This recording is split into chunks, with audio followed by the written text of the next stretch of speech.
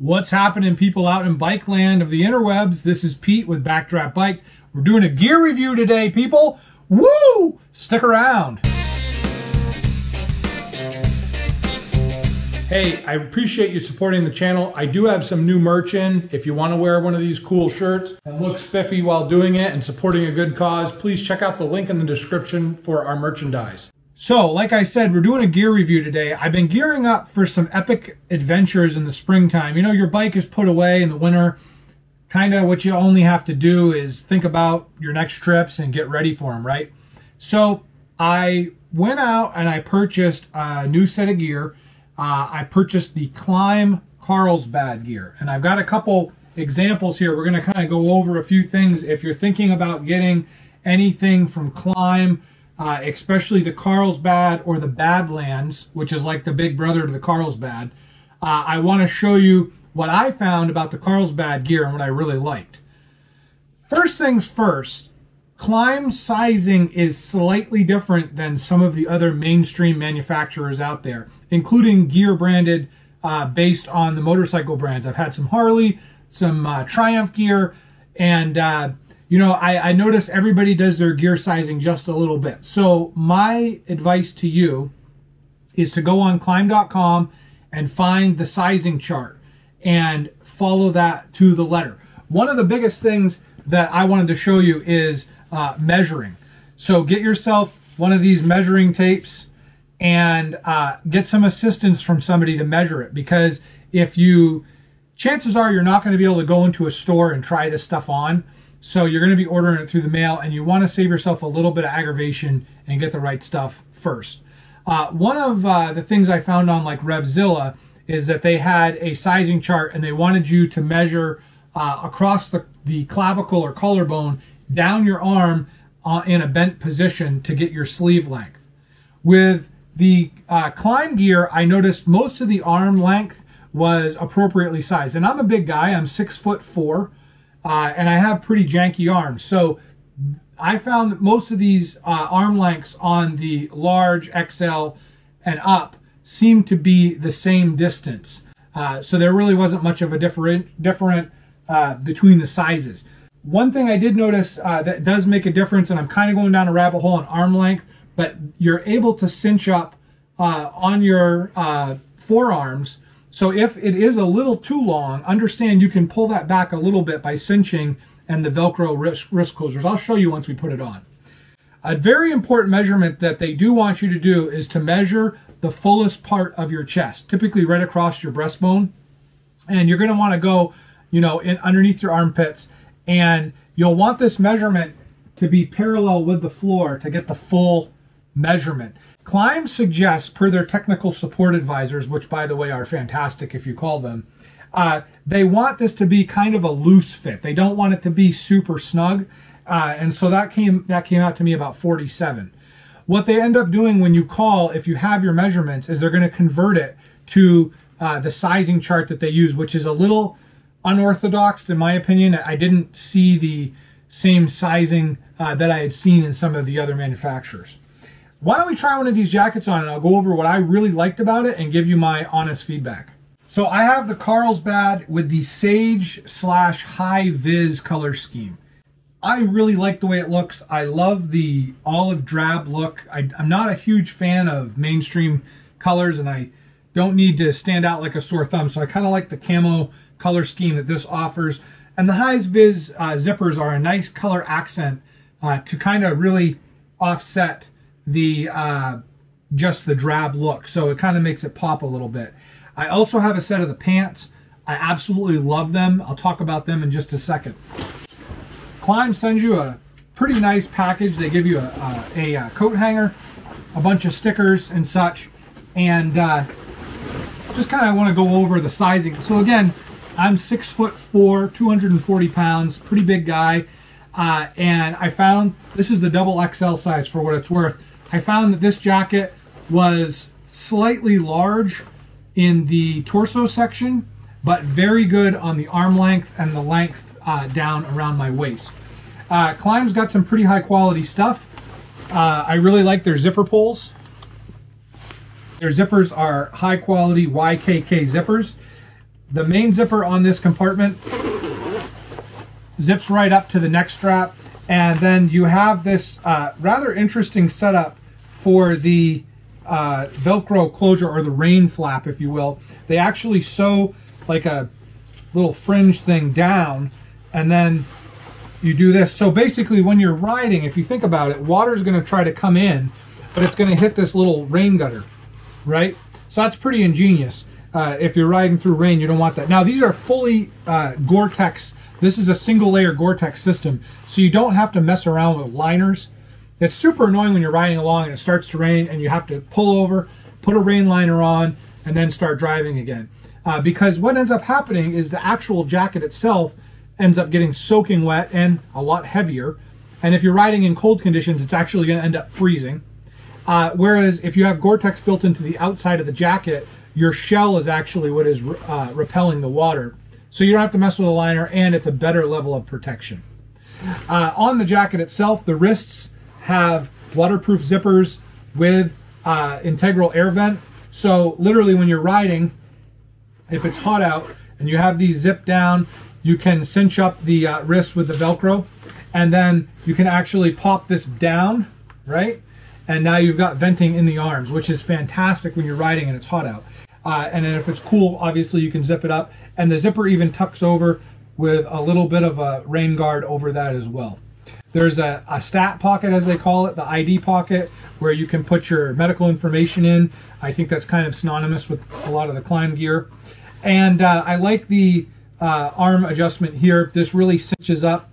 There's quite a bit of flapper going down that, that you can take out with uh, a simple adjustment of this. And again, when this is tight on your wrist, it's going to keep it from riding down your hand when you have gloves on, okay? Um, this is all, I believe it's Corduro, cor, how do you say it? Cordura fabric. It's ripstop, uh, essential ripstop canvas, if you will. Uh, I'm, I'm, butchering this whole description of the fabric, but uh, it's rugged material. This is an ADV jacket. It's meant to get scratched and dirty. So that being said, it is a little stiffer than uh, some of your textile jackets that you might be used to. I will tell you this on the Carlsbad though, this jacket is very light compared to some of the other jackets I've had. Joe Rocket, uh, I had a Harley branded Rev'it rebadge jacket as well for my Pan America. You can see me riding that in some of my videos. Uh, that jacket you put on, it felt like you had just put like a ballistic vest on. This jacket is very light, it's very easy, and it has all the built-in armor. Speaking of armor, I believe it's level two. You've got it in your uh, elbows, and you also have an integrated and included back protector. You don't have to buy that extra. It comes right with the jacket. And there is an option to buy the kidney belt for this, which I'm told cinches up the abdomen area. One thing I'm not keen on this with this jacket is that there is no cinch for the midline. So a lot of jackets will put uh, some cinches in this area to hold this tighter to your body. I like a tight fitting motorcycle jacket, not only because I've been to motorcycle accidents and when you have loose gear, it usually leaves the premises as soon as you touch the bike down. Um, but the other thing is that when you're riding and you have really loose gear, you get the flap effect, right? Almost like Superman's cape. And what you'll end up having is you'll end up having, um, especially if you have vents open on a jacket, quite a bit of buffeting. It's quite uncomfortable. When you get a lot of buffeting in your jacket because it's not fitting you tightly, the jacket oftentimes will ride up your torso when you're on the motorcycle and uh, that lends for a very uncomfortable ride. The other thing I noticed that Klim does is they use Velcro, and they do this on most of their uh, jackets. They use Velcro closures even for uh, the chin area. Uh, I I think that's nice because with a snap, when you're dealing with gloves with a snap, it's kind of hard sometimes to find the sweet spot to get it to click in. Uh, with Velcro, you just kind of aim for the right area and you're done. Sort of like a grenade. Uh, this jacket has uh, a few other features I really like about it is it does have pockets. The pockets have an integrated snap, as you can see here.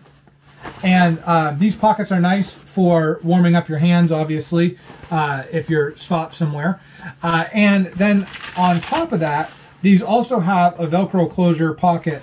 And this pocket is rather large. Like I put my gloves right in this pocket. You could probably put um, your phone or even a small iPad uh, or maybe even a, a, baby chipmunk. The only problem with these pockets though is that there really isn't a lot of rain protection to them. Meaning when you open this up, this is open. So if you're riding and you think like a water droplet, there's a good possibility you're going to get water in these pockets. So I would not call these pockets waterproof by any stretch of the imagination, but that's okay uh, because you can put a lot of stuff in these pockets for the ADV ride that could get wet. Um, you also have vents up here. And uh, this is a ventilated pocket. You can see the mesh, but this is also a pocket that could store some gear, but it also acts as a vent. You have your Beam Me Up Scotty pocket where people put the uh, transponders in or a radio. Um, I think this is a great pocket for maybe some camera gear if you're out filming uh, because it's nice quick access. There's also another pocket right here Again, not a waterproof pocket, not a waterproof zipper, uh, but very nice and integrated. And there's also a clip on here uh, if you wanted to uh, tether something in there, you know, perhaps like a key card or, or something similar to that. There are a few other things that are kind of nice about this jacket. So Klim puts these little bungee loops in. So I kind of struggled a little bit the first time I did it, but once you get used to it, it's pretty good. You can hook both elements to these clips. And you can ride like this and the jacket's to be to be still on your body. Uh, that gives you some nice airflow in a warm environment, obviously. Speaking of airflow as well, there are two zips on the back, uh, which is kind of nice. Uh, so that's going to give you your cross ventilation that you like in a jacket. Once I open this up, uh, you'll see that there is a pocket in here, and this is behind the iron curtain of Gore-Tex. So I, put, I found myself using this for my cell phone because it's waterproof and it's going to be stored away. There's also a another pocket right here that again is behind the Gore-Tex shell. So this is a very large pocket with a lot of area. There's another pocket right here that has no zipper on it. And there's another pocket right here so all in all, a lot of pockets. I kind of like the ability to have everything separated in my jacket. Uh, kidney belt obviously would attach inside. Cordura is the name of the fabric. That's what it is. All right, on the very bottom of the jacket, you do have some uh, shock cord uh, cinchers, so you can cinch up the actual waistline. Uh, you're going to want that to be tight around your your pants if you're riding and it's wet because you don't obviously you don't want the water to shed and curl and come back in. This will also reduce the flapping effect uh, if the jacket is a little bit uh, on the larger side. Now speaking of sizing, what's interesting about this uh, jacket again is the arms on on the jackets are kind of sized the same. However, the midriff area, the torso on the jackets varies quite a bit. So this is a double XL. And while I think that this jacket fits me rather well, um, I noticed riding, sitting seated down, the collar would come up into my uh, thorax area, right into my Adam's apple, and it was rather uncomfortable. So a quick call to Klim. They explained to me that this type of fabric is stiff. Um, it should soften up a little bit, but this is an adventure jacket, and this is made for getting up and standing when you're riding and having some abrasion resistance. Um, that being said, I mean, to each his own, but these jackets are very rugged. They're a little bit lighter than the Badlands jacket, so they provide a good amount of uh, protection from abrasion and branches and mud and whatever. Um, but they're possibly not your go-to for long distance touring. You may want to consider another style jacket for that. And in that aspect, because we're in a cooler climate up here in Maine, uh, the Kodiak is what they recommended. Now, speaking of sizing, the good folks at motorcyclegear.com are excellent to deal with. I'm not being paid to say this. This is just where I bought this jacket from. They had some of these on closeout, so I bought the double XL. The double-edged sword for ordering things on the internet is you don't get to try it on first. So after I bought this jacket, I was a little bit let down because there was so much width in the chest. Let me show you. So according to the Klim sizing chart that I used to order this jacket, I was right between an XL and a double XL. My other gear is all double XL, so I figured I'll go the safe route. And I'm always going to be wearing typically a jacket underneath this, some sort of, you know, job shirt or whatever, just to keep the temperatures uh, somewhat okay. But I was really surprised at how much room this jacket had in it from an XL. So, I mean, that's that's probably a good six inch difference between what is where this jacket fits. Now, do you want this thing to be super skin tight when you're riding? Kind of. You do want it to be tight. In an off-road situation, you want to be able to move your body, but if you have something that's really loose, your body's going to move underneath it. Um, if it's really tight, your body's going to move with it. So that sometimes can restrict your movements if it's too loose. Uh, if it's too tight, rather, it'll restrict your movements. But if it's too loose and you crash, this thing is going to ride up and it's not going to do its job. So with the pants that I ordered, these do have an integrated zipper system in it. And you can easily zip the pants in, no questions asked. And that's and that's great. And I plan on doing that. But sometimes you don't ride with your pants, right? If you're just going for a rip down the street, you do want your jacket on. Too loose like this could really be catastrophic. The other thing I just want to mention about sizing is notice where this sits on my hips. Okay? Notice where this sits on my hips. Just keep this in mind. This is the double XL and I'm 6'4". Let's put on the large and I'll show you what I mean. So before I get into anything on the sizing on this, notice where this sits on me now. It's a little shorter. Uh, however, I feel that the fit of this jacket is better because it's not as loose. And again, I do not want a loose jacket. I want this jacket to fit like second skin. So if you look at the sizing now on this, I might have an inch to two inches of play uh, in my jacket area. And I'm going to be wearing a sweatshirt underneath this, so it's going to fit pretty snug. I kind of like this better. I kind of like this better. Um, I will say, though, that uh, as far as the fitment goes on both of these jackets, the XL has better reach to cover my uh, hip area. And when you're riding and it's soaking wet, you kind of want a little overlap between your pants and your jacket or you'll have water going in between. Getting back to my friends at motorcyclegear.com, they're super good. Their return policy is awesome. They give you a flat shipping fee. They kind of eat half the cost of it to return an item if it doesn't fit. And they're being super good with me and allowed me to order a secondary jacket just to try it on uh, and to make sure that I have the right fit. So I think XL is better, but I definitely need the tall size to cover over uh, my hips where I'm wearing my pants. These will still zip into the pants, so I think you could wear them in a pinch. Just wearing these by itself, it wouldn't be good. And this jacket is pretty tight on me, so it isn't going to ride up too much uh, when I'm riding. What is it like when you're uh, assuming the position? Again, you've got really good protection. The armor's here. Everything is, is, is fitting nicely. And again, I can cinch these up really well uh, in order to ride safer. So what do I think about riding on these jackets? I can't show you right now because it's zero degrees outside, but we did have a break in the action and I was able to demo one of the Carlsbad jackets for about 250 miles. I do have to say my experience with the jacket, it was a little on the cold side. The jacket performed flawlessly with a sweatshirt on underneath. Uh, I, at no time did I feel like I was restricted and uh, did I feel that the jacket wasn't doing its job. I also wore the jacket around and walked around uh, a Walmart for about 35 minutes or so just to get a feel in a hotter environment what it would feel like. And the jacket did a good job breathing, but I did find myself unzipping a little bit.